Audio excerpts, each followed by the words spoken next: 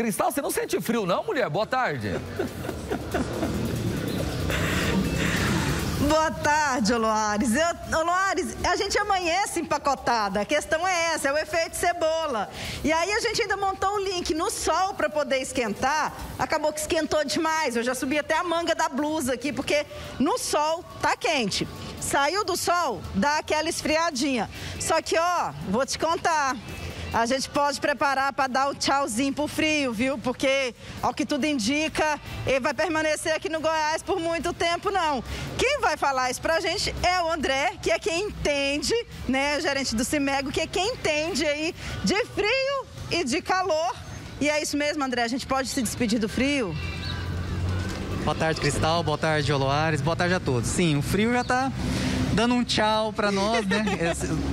Mas como cavalheiro, ele sai né? Como se sai a francesa, sai devagarzinho, mas vai é, realmente as temperaturas agora, a tendência é esse ficar menos frio, né? Então o que nós tivemos ontem, 1.2 em é, em Rio Verde, então é menos, tá muito frio, agora sim as temperaturas gradativamente estão subindo.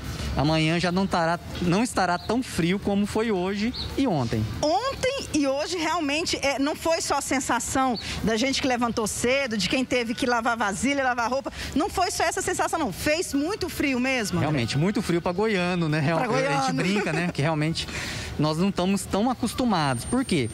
É, ultimamente, nos últimos anos, nós temos convivido muito com temperaturas altas. Então, realmente, esse zigue-zague das temperaturas acaba também forçando o organismo, né? Então, uma hora está quente, outra hora está frio.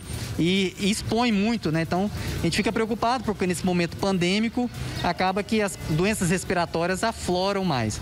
Mas realmente não é, é muito frio para os goianos mesmo essas temperaturas que fizeram. O André, a gente viu aí na internet muitas pessoas publicando ali a tela do celular, 14 graus, 13 graus, 7 graus. Tinha gente comparando com outros países, né, onde faz muito frio. Quantos graus exatamente fez aqui em Goiânia ontem, hoje, assim, pra gente falar assim, deu, deu para tremer, deu para bater o queixo? Sim, ontem nos bairros mais afastados, né, do centro, nós tivemos 6 graus. E hoje nós tivemos 7, mas no, na parte central já teve 10. Ontem variou entre 7, 6 a 8 graus. Então a parte central. Porque o vento não circula com tanta intensidade. Os prédios protegem, então a sensação já não é daquele frio tão intenso. Mas nos bairros mais afastados, sim, nós tivemos uma temperatura mais intensa e realmente a água de manhã não fica nada convidativa. Não mesmo.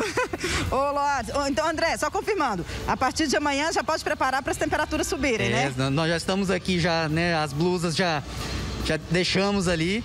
Mas sim, as temperaturas hoje já começam a ficar um pouco mais já elevadas. Amanhã o friozinho já vai despedindo. Não é que ele sai de uma vez.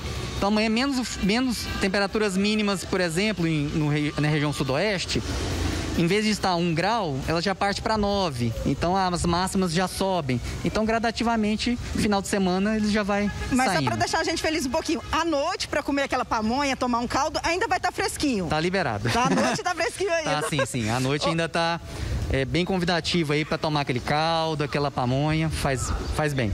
Ô Loares, eu só sei que quando chegar lá para setembro, outubro, nós vamos morrer de saudade desse frio, porque o calorão eu tenho certeza que vai vir rachando, né, André? Com certeza. Agosto e setembro promete temperaturas elevadas. Então bora aproveitar esse restinho de frio, bora tirar o cachecol, as botas, tirar o casaco aí e aproveitar aí esse restinho de frio, né, Loares? Ô, ô Cristal, vamos olhar do ponto de vista econômico. Eu queria até que você desse uma, um giro aí na região região.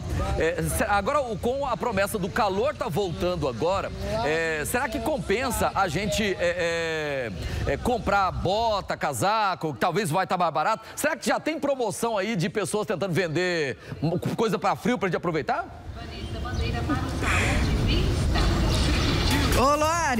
eu, eu, não entendi muito sua pergunta, entendi só o final dela aqui, mas eu vou te contar depois, já já, é, sobre essa questão de promoção de roupa, se ainda vale a pena, se vale a pena. Eu, particularmente, infelizmente, esse ano não vou comprar bota, porque a Rafael está comendo o meu salário, não vai sobrar para comprar bota, mas as minhas é, quase 30 botas já estão preparadas para serem usadas, já estão sendo usadas.